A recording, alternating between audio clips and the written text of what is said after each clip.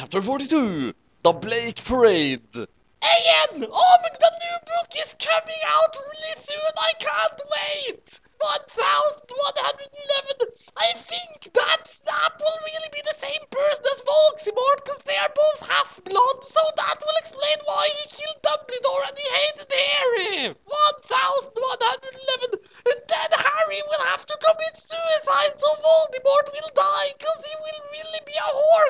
Horcrux! 111! Um, I hope Draco and Harry get together. That will be so smexy, won't it? If they don't, then Chicory is homophobic. 111,111 thanks for the help, Wimfax! Medusa, you rogue! 111! 666. I sat depressedly in Dumbledore's office with Hedwig, Satan, James, Sirius, Snap, and Lucian. Dumbledore was sitting in front of us cruelly. He looked more young than he did in the future. He had taken the iPod away and was now listening to a shitty Avril Lavigne song. What the hell is this anyway? He cackled meanly. I hoped he didn't find out that I was from another time. Whatever you do, don't blame Ebony, you jerk, Satan said. Yeah, seriously, she was trying to get Satan and Hedwig back together. Sirius said deviantly. Be quiet, you Satanists, Dumbledore cockled. If you're lucky, I'll probably send you all to Akazaban. That will teach you to copulate in the Great Hall. He changed the song on the iPod to a NSYNC song. Suddenly, I noticed something strong about the iPod. It was slowly changing. Dumbledore didn't notice. You fucking poser. I muttered. I bet you've never heard of GC, James said. No, I knew what the iPod was changing into. Morty McFly's Steam Machine! 11. Shut up, Jones, Draco's dad shouted. Yeah, shut up. Snake said preppily. No, you shut up, Dumbledore. 1111, said Tom. I've had enough of you Satanists in my school! shouted Dumbledore furiously. Suddenly I grabbed iPod from him. Everyone, jump in before it's too late! I jumped into it, but only one other person jumped in.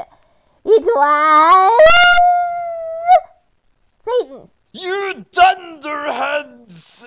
One billion one hundred eleven million one hundred eleven thousand one hundred eleven! screamed Dumbledore wisely as we went. I looked around. I was in the Slytherin conman room with Satan. I was wearing a Blake Blade miniskirt with hot pink fishnets, a sexy Blake MCR corset, and Blake stiletto boots with pink pentagrams on them. My earrings were Blake Satanist sins, and my raven hair was all around me to my mid-black. Hey, cool, where is this? He asked in an emo voice. This is the future. Dumbledore's iPod that he tried to take away from me was really also a tin machine. I told him. Cool, what's an eye patch? He whimpered. It's something you use to listen to music. I yucked. OMFG cool, wait, what's a four-letter word for dirt? He asked in a Saxa voice. Um, I guess sand? I laid confusedly. Yeah, I was just trying to make sure you were still the same person. He triumphantly giggled. Suddenly, some of my friends walked in. Wendy, you're fucking alive, said Ginny, wearing a Blake leather jacket, Blake baggy pants, and a gothic black from first to last shirt. I explained to her why I was alive. Konnichiwa, bitch, said Willow. She was wearing a Blake corset showing off her boobs with lace all around it and red stripes on it. With it, she was wearing a Blake leather miniskirt, big Blake boots, white foundation, Blake eyeliner, red eyeshadow, and Blake lipstick. Hey, motherfucker. Said Diabolo with his red hair. He was wearing a black P question mark ATD t-shirt and Blake baggy pants.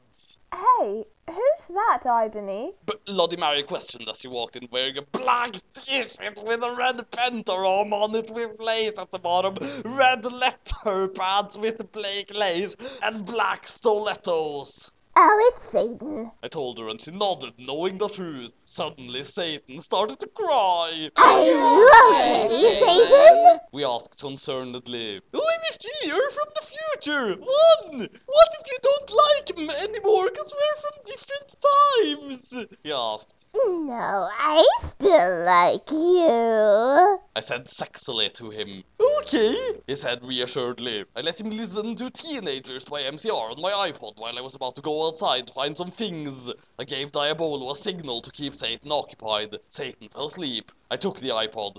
I was about to walk outside. Professor Sinister ran in! 1111. She was wearing a gothic Blake mini dress with depressing Blake stripes, white and Blake striped tights, and red Converse shoes. She was wearing lots of Blake eyeliner. Oh my fucking god! Where's Draco 111? How did Snap get back here? I thought he was in Azerbaijan.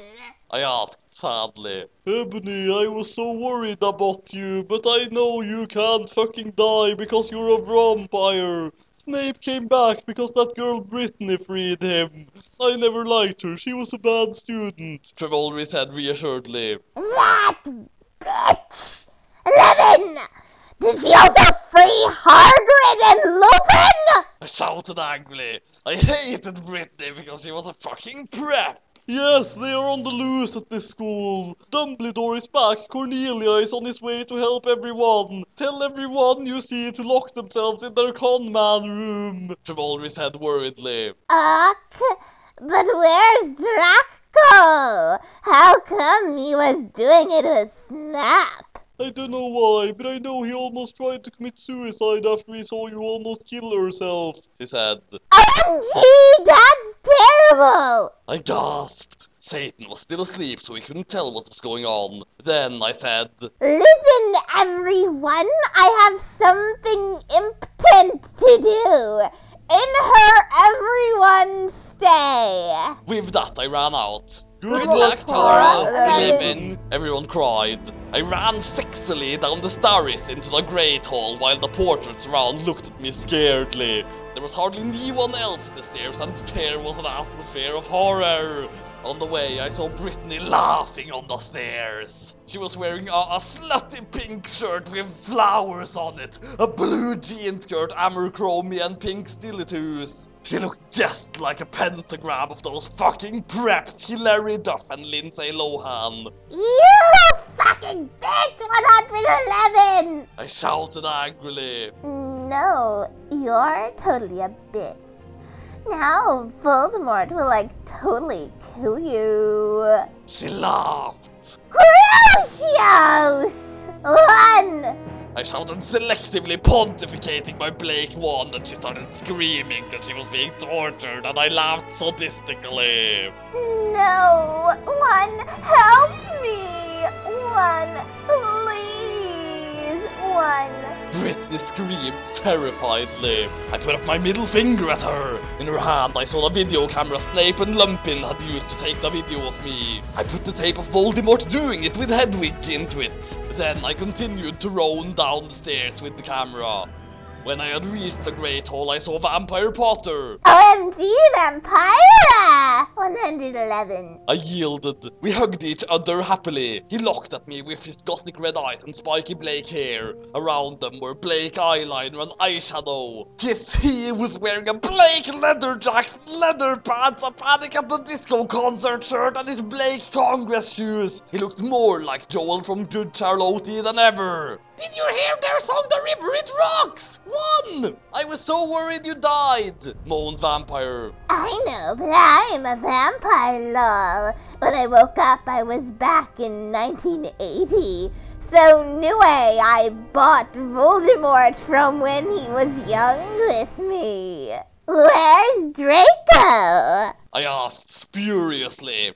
Draco, you mean that fucking poser who betrayed you? Vampire snarkled with anger in his sexy voice. I know, but we have to find him! I said smarty! I'll do it then, Harry said angstily. Ock? I agreed. Suddenly, all the lights in the room went out. And then, the dork mark appeared. Oh my fucking Satan! Harry shouted. I think Voldemort has arrived. I said anxiously. Fuck, I have to find Draco one.